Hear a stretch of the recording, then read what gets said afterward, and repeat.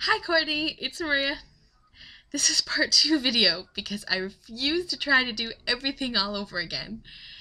Something always interrupts me. So my this is my review of Me Me no. This is my review of MiaMiaMi. It's fanfiction Wonderland. The Harry Potter time travel Hermione centric fanfiction. So, as previously mentioned, I don't like characters that know everything ahead of time. And MiaMiaMi did a really good job of having Hermione, who goes back for a really decent reason. It, she has it so that a time turner was hit with a spell during a battle and it broke. And that's why she's back in time. So it's using a device which is already present in the stories to go back in time, which is I I enjoy that. It's not making up like a, a green light that appeared. Uh, so she has that happen and she goes back in time. And the nice thing is, she doesn't know everything. There isn't, um, there's a battle scene uh, which just happened recently. The, the fan fiction isn't complete. Um, however, it was updated really recently, and I think she'll do a good job keeping updated as well. Um, she seems to have a, a good system going. And anyways, so with the the Hermione character, the one thing I really wanted to point out was that she was written in such a way that she wasn't aware of the attacks that were going to happen. And I really like that because it's it's true.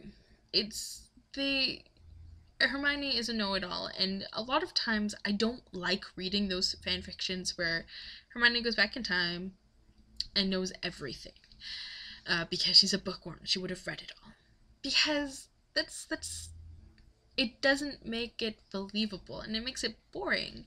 Um, especially if you let the audience know everything that's going to happen ahead of time let it come. Um, also, I really like the fact that she went back to the Marauders area, era. And a lot of times in Harry Potter fan fiction that involves time travel to that area, the marauders will be curious about the person and they'll uncover the truth, and it'll be very, very stereotypical. Now, MiaMiaMi also has the marauders interested in this Hermione person. Um, and they have it, she has it so that they're trying to figure it out but it's done in such a way that not all the marauders are interested, which is different. And also, she has it so that they aren't as obsessed with it, and they aren't as. They don't guess right away, which is great to see. Um, it's nice that it's not like Harry goes into the past and his father sees him and was like, huh, he looks just like me. He must be my son. Uh, I've actually seen those and this is a nice change.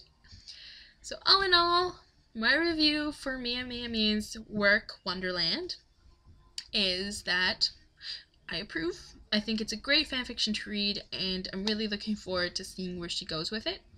I know for myself, I'll definitely be adding it to my favorites and seeing how it progresses from there. So that that is everything. I'm going to wrap this up before someone comes into the store and then you start all over again. I'll be sure to post the link to the fanfiction down in the bar. Um, and yeah, so that's it. I'm done, and I can't wait to see your post later this week. Talk to you later, Courtney. Bye.